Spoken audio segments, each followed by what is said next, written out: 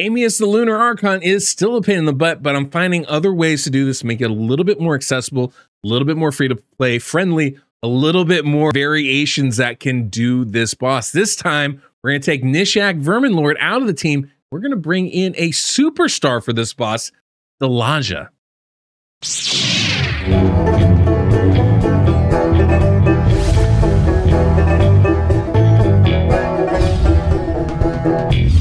Welcome on the Deadwood Jedi. Thanks so much for coming in. This is another Raid Shadow Legends video. And we're going to bring in, like I said at the top, Delaja to the party and take a look at what she can't do against Amius the Vermin Lord. And why are we bringing Delaja? Well, kind of has a perfect hit, to be honest with you guys.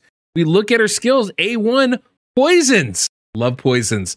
A2, decrease attack. And even the A3 has some healing, continuous healing, and shield. All that is actually really, really helpful for us. And the passive, free counterattack. So we're going to actually get a fair amount of poisons from Delaja. So who are we replacing? Well, who are we replacing? Nishak Verminlord. Kind of a perfect combo nation because Nishak also does decreased defense or decreased attack, also does poisons. And we're getting those same exact things here from Delaja. So kind of a perfect blend of champions, right? So you can really substitute one for the other. If you're wondering what everybody is like, how they're equipped, how they're geared out, and stuff like that, you can go see my other video. Because I mean, I, I already showed that, right? I already showed four out of the five champions. I didn't change a thing on them. The only one I'm changing is the Laja. So this is the one, you know, where I'm going to really showcase what she is, how I'm putting her into this team. Like I said, if you're interested, watch that. It does break down. I do try to break down the boss, the skills, you know some of the ways to go about building your own team.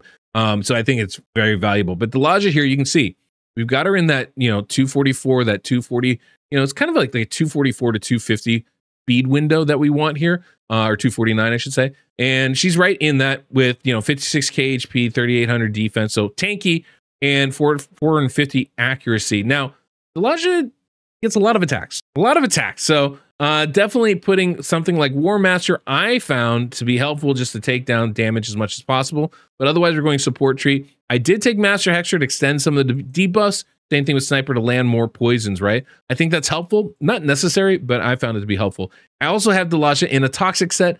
Again, I want poisons up as much as possible. It activates Venomage's abilities, and just landing more poisons is more and more helpful, right? So that is one of the things I did. But yeah, definitely not an easy build per se, but she can definitely do some amazing work. Now, interesting stuff with her kit, right? I want to point out one important thing that you're going to see in the run here. First off, the decrease attack. We need to make sure that she's landing this before the the boss transforms from the base ability to the second to the alternate form, right? The reason why, because of Master Hexer, we want to make sure that we want to make sure when transforming from the alternate to the base form that there's no extraneous debuffs on the boss because everyone is going to just add more turn meter and also going to possibly trigger the A3 ability with the stun activating instead of the A2, which is what we want. The other part here is that because and because this can extend, it's hard to time that out. So it's important that we use this on the first when transforming from the base to the alternate form instead. The other thing I want to point out is this A3 with the continuous heal in the shield buff. This is actually really interesting ability because one of the things that we can do is by having these on our team, um, it can actually get triggered to activate on the when when going from the base form to the to the alternate form. It can trigger the activation of the A2 and A3 ability in the alternate form of the boss. And so this is actually helpful because by triggering those skills, they're not strong enough damage dealing to kill us, but they do put the Eclipse cooldown at the perfect two turn duration for Venom Mage to use their ability. So that's definitely something that I enjoy. Just a little extra healing and protection as well. Um, and so definitely something that you'll see in the run can be useful for us. Now, sometimes we are able to activate those eight, those alternate abilities from the boss. Sometimes we're not. It's a little bit frustrating, honestly, um, because it does seem to kind of happen on its own time. But regardless of what it is, we are able to adjust with it um, because we do have the decreased attack ability for Delaja. So you can kind of approach it either way, whether you want to try to activate those skills or not. That said, let's show the run. We'll jump in here. You guys can see how it goes. Um, it's a little bit long, so we'll, you know, I'll, I'll kind of walk through part of it and then we'll probably speed up towards the end. Are you still not subscribed to my channel? What are you doing? Take a moment, hit that subscribe button, hit the notification bell so you don't miss the next video that I put out there. It's the easiest way to support my channel, and over half of you aren't doing it. Get at it. All right, here we are back into it. Now, one of the things is I do have on Delaja Master Hexer, which extends the duration of debuffs. Part of what that means is I actually need to be pretty careful about timing some of the skills, specifically the decrease attack. Because when when Amius is in the base form and goes to the alternate form, fine. Return duration on that, great. That's not a, that's that's definitely not a bad thing, right? But when he goes from his alternate form to back to his base form, that can actually be, be kind of cause some issues for us. Um, because if that decreased attack is up on that switch, it'll force him to use that skill that he just used there, the stun ability, and that'll that's that's problematic for us, right? Not what we want. So I need to make sure that I'm using his skill first. Um, and I need to save Venomage's skill for later. So this is the one the one thing I need to be very, you know, kind of conscious of. So we're gonna wait till we're down to a one turn cooldown with this ability here. Um, and then when we are, we'll go ahead and use it. I'm gonna wait on Woad's ability as well. I like having an extra buff to make sure that we can get some uh, extra damage reduction when we are in the other form here. Uh, we want to put up the heal reduction if we can. Yep, there we go. Uh, and then here we go with the decrease attack. You can see it went for three turns. I don't know if you can see that right there, but three turn duration on that. We're going to heal up here with Woad. You can see we're all full health again, which is great. And then Amius transforms. Boom. We take that hit. Look, didn't even do half damage to us. It's actually pretty impressive right there, I would say. Uh, we can add more poisons. Boom right? If we want to, we can add decreased defense and another decreased attack. Great. Uh, add more poisons. Perfect. Woad can go to town there. Excellent. And we were able to survive that second hit, which is great for us. That's actually really, really nice to be able to do that. It sets us up with a two turn duration on that Eclipse, which is exactly what we want. We can use the big hit there. And now we can come in with the heal reduction from Venomage. Perfectly sets us up which is key. They're going to kill Coldheart. That's not an issue for us, right? Because, again, we have the heal reduction up already when the form swaps over. Boom, there we go. And they're still low on HP. This is exactly how, exactly how we want this to go. Like, perfect. Absolutely perfect. Now here, I'm going to block the stun. This is going to allow us to continue to put up more debuffs, which is exactly what we want to do. More poisons, I should say. Um, that's what we want to do. And then uh, Woad's not going to go just yet. We're going to go ahead and revive Coldheart right there. Perfect. Um, at this point, a one. Again, we're going to wait a little bit. Uh, I could use... No, uh, you know what? We can go ahead and use the continuous heal ability. A little bit extra shield won't hurt us, I don't think. Heal reduction, perfect. Exactly what we want. Now Woad can heal everybody. There's one turn left. That means we'll have the debuff going forward. Boom, boom. Because, you know, uh, reflect damage doesn't get stolen, doesn't get transferred, doesn't get, you know, changed in any way. So it's a really good one for us to have there. Get that decreased attack. Remember, one turn left on that passive. Perfect timing on that. Re-up the heal reduction for more damage mitigation from Venomage. Now, he did go into some of his rotation because we had a couple busters, continuous heal out there that got transformed, right? That is, you know, one of those things we got to be a little bit careful of. But again, that's okay. We're down to a two turn duration with the Eclipse. That's where we want to be. So it's not the worst thing in the world as long as Venomage gets a chance to place that heal reduction, which should happen right now. Boom. Exactly just like we want. So whether we, regardless of what skills get used by Amius, it's going to work out for us if we have Venomage timed right. Um, and that's kind of the big, big thing with this. And so far, so far, so good. So there we go. We make sure not to add any more debuffs to the bar. There's no healing going on. Kind of A1ing through, hopefully adding more poisons. Excellent. And this is the this is the approach. Nice and simple. Now we can get the heal reduction on there. We can revive Woad. Uh, Venomage can do their thing. We can actually do a little. Uh, yeah, we can do a little. We can do the healing with uh, with uh, with uh, Delaja again. I don't think that's a problem. Um, and even with some of these buffs, right? We've got the strengthen, we've got the block debuffs. Even having some of those out there isn't going to be the worst thing in the world, um, because as we saw before, if we swap forms, that's not a bad thing. Right? If when he swaps forms, if he uses his skills, not a bad thing. It actually sets us up in really good stead uh, to be able to use what we want to use. And there we go. Get that reflect damage up. Not only will it do some damage for us, but it will help mitigate some damage due to Pythion. So there you go, right? Uses the A3. It's okay that, you know, we came through there. Venomage just kind of kind of jumped on in and was like, oh, not a problem. And then uses A2. Again, not an issue there. Jump through. Everybody's going to use their skills, get some heal reduction going, make sure that's up. We can, uh, we don't use that. A1. Venom Venomage comes in, gets the heal reduction for three turns on. That's the big thing. Adding poisons.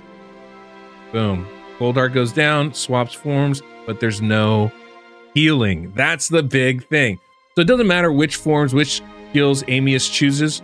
It's sometimes, and on, I mean, honestly, it's kind of better when Amius goes in this pattern, right? When he actually uses his skills, it's a little bit easier to predict. It's a little bit easier to get Venomage to do their thing.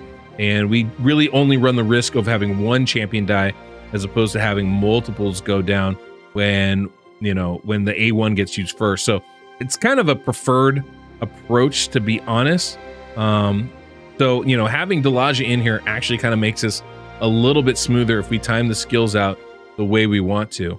Uh, so it's not not not too shabby here. Uh, yeah, we can get some healing up. Boom. And we're always constantly going back to full health, which is delightful, I think. Um, there we go. Boom, boom and get the decreased attack going. Perfect. Bedlam. A2. Easy. Breezy, guys. So simple here. Uh, yeah, we can go ahead. Boom. Big hit. We're going to get the heal reduction from Venomage here in just a second. Right. There it is. Boom. Heal reduction just as planned. Get those poisons going from the Laja. Doesn't matter that Cold Heart goes down. Come back around. And we're good to go again. Simple, easy breezy. This is a beautiful cover girl. That's what we have going on right now. It's uh, nice and simple here. There you go. More poisons. Don't need to heal. We're almost there. We're probably going to have to swap forms though, so I need to be a little bit careful of not doing too much damage, which is an odd odd spot to be in, but we want to be careful about that for sure. Um, and see, here we got a little bit of an issue, right? We got, we're probably going to be, he's probably going to jump back into his A1 form. I do need to get decreased attack out. I could conceivably have Venomage do it, actually. Probably not a bad way to do that, now that I think about it. So we're going to do that. We're going to use the healing here. You're going to get the heal reduction there. Oh, no. No heal reduction. That's bad, actually. That could be a problem. Uh, A1. Boom, boom.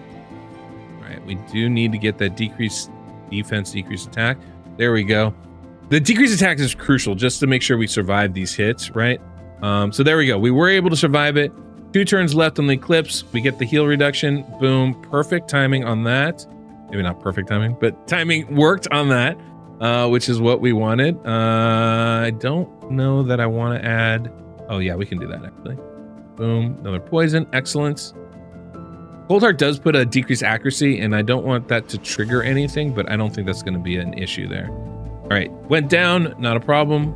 Come back here, boom. Now it's our time to finish off this boss. We kind of want to do that ASAP if we can, which is going to be a little tricky. We don't this is one of the issues. We don't do crazy damage with this team, so getting getting the boss's damage to a reasonable level is a little bit trickier. Also, getting the boss seems to be getting a lot of turn meter. so timing stuff like a revive is getting a little bit trickier than it was before. This is where it gets this is where it can get a little bit dicey, right? Um, and so that's one of the things we got to be very, very, very careful of. All right, but we did get the revive, Cold Heart. Perfect. Um, we're gonna go ahead and place a decreased attack. Uh, we're gonna go ahead and heal up. Heal reduction. Nope, didn't get that. Okay. All right, get the heal there. Woad. Woad painted hits hard, surprisingly hard. Uh, boom. Okay, we survived. So you can see how much how much health there is. We need to not burn that down. This is gonna be uh, this is gonna be I think maybe impossible. Now that I think about it, might not be possible. Truth be told. Um, but okay, heal reduction. Poisons. Another poison. Yep, he died and revived. Ah, it's unfortunate. Unfortunate. Well, such is how it is sometimes. Can't always do everything that we want, but we were able to kind of get where we needed to get to, I think, in the end. And that's the key. Um, I think he's going to use his A2. Yep, boom. As expected. There. Boom, here. I can't revive anybody yet. Not a problem. Not a big problem, I should say. Um, I want to revive before I heal. That's always a big thing. Uh, there we go. Got the revive.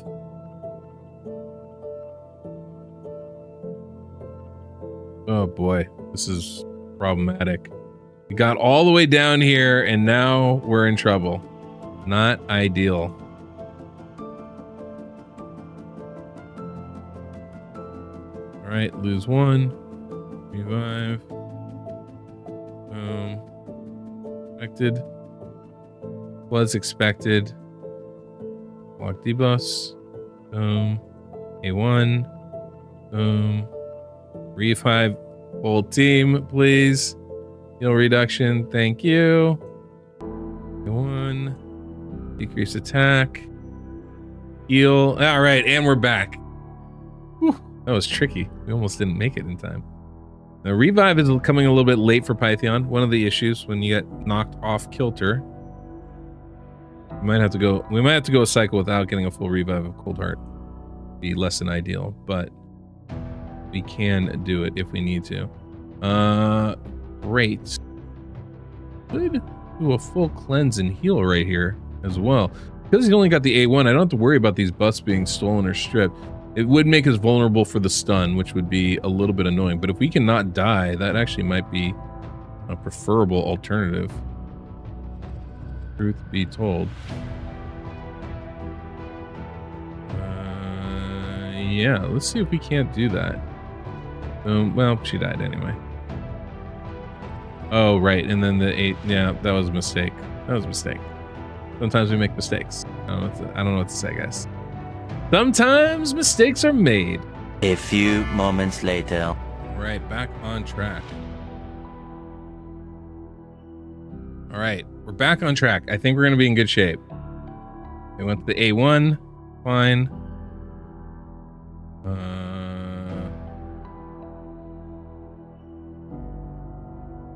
reactivate the decrease attack. Reactivate the heal reduction. Oh boy, didn't do that. More poisons? No. Okay. Okay. Boom. Cold Heart's down. Come back. Survive. Whew. All right, that was big. That was big. Massive, one would say. I would say. I would say that was massive. All right, we're going to protect ourselves here. Heal reduction and poisons. Good. More poisons. Good. Uh, do I want to heal? I think we do want to heal. And we're going to heal. I was a little afraid Delaja might die. Although we have a revive available, but I need Delaja. Oh, she died anyway. Great. Great, great. All right. Revive. Ah, we're in the base form. Okay, victory. Cold heart. Can you do it? Oh, why the stun? No. We did it. All right, there it is. Yay. Woo. Just took a little bit of time, but it's doable. It's doable. That's the thing. It's doable. Definitely that was bad RNG with a lot of that stuff, but it's definitely, definitely a functional and viable approach to things, right? And we had to kill it twice. We killed it twice. So, um, but yeah, Delaja is definitely a, a usable champion here. Uh, definitely usable instead of Pythion or instead of Nishak, I should say. So, yeah, uh, that's the thing. There are viable alternatives and ways to go about doing this. Now, every account's going to be a little bit different. You know, there's more than a few factors in here. The blessings you have on your champions is a big part of that. Um, that does mitigate a lot of damage, making sure your higher blessing champions are the ones that are getting targeted by any A1s that are happening. Um, you can also see how sometimes forcing the A1 is good, sometimes forcing the A3 and A2 in the alternate form are good, right? It definitely depends on, you know, your approach and timing, but the timing is the big part. Getting those heal reductions at the right time is really, really important and challenging to be able to do. Um, and so being able, you know, ensuring that I would say is kind of is the biggest trick that you can, you know, can deal with here. One of the ways, you know, you don't necessarily need Venomage either. Um, one of the things I want to, you know, kind of point out is that heal reduction. You want an extra turn of it when Amius transformed from the alternate to the base form. If you can get the Eclipse down to a one turn cooldown, you can then use a two turn heal reduction duration and have that same effect, right? Um, so it's, you know, there is, there are variations as far as ways to go about doing this. So if you wanted to use somebody else, you could make that work you just have to time the skills appropriately to make it work, right? And that's kind of the trick to doing that. I'll try and see if I can't build a team that can do that for you guys and showcase that as well, but that's for another day. Anyway, I just want to say thanks so much for stopping by. I appreciate you guys. Hopefully, this is helping you guys figure out different ways to approach Amius, uh, the the Lunar Archon, because it's kind of a fun boss. All right. Till next we meet, guys. Oh, yeah, hit that like button so other people can see these videos. I think that's if you're finding it helpful, let others know so that they can find it helpful as well. It's just, you know, passing it along. Um, but yeah, thank you guys so much for sticking around. Till next we meet, I'm the Deadwood Jedi. Thank you.